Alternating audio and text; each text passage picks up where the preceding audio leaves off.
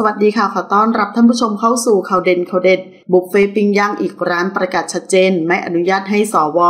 กกตเข้ามาใช้บริการ หลังจากมีสนามแบดมินตันชื่อดัง ในจังหวัดอุตรดิตถ์ได้โพสต์ข้อความถึงประเด็นร้อนแรงทางการเมือง กรณีการโหวตเลือกนายกรัฐมนตรี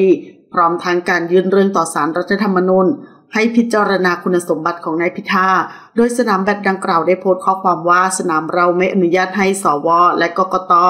รวมไปถึงลูกหลานของพวกเขาทุกคน ห้ามเข้ามาใช้บริการ เสนียดมากค่ะ ขอบคุณค่ะ นอกจากนี้ยังคอมเมนต์ต่อว่า แต่สสและผู้ช่วยสสฝ่ายที่สนับสนุนพิธา รวมไปถึงสวบางท่าน ที่จะให้เป็นนายก สนามเราเปิดให้พวกคุณมาตีแบตฟรีตลอดชีวิตค่ะ ยินดีมากๆ ช่วยกันค่ะก่อนที่ประเทศไทย มันจะชิบหายไปมากกว่านี้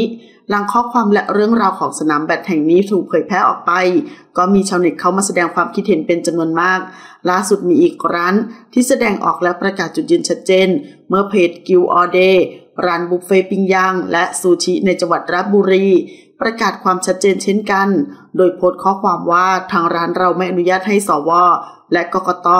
รวมไปถึงลูกหลานของพวกเขาทุกคน ห้ามเข้ามาใช้บริการ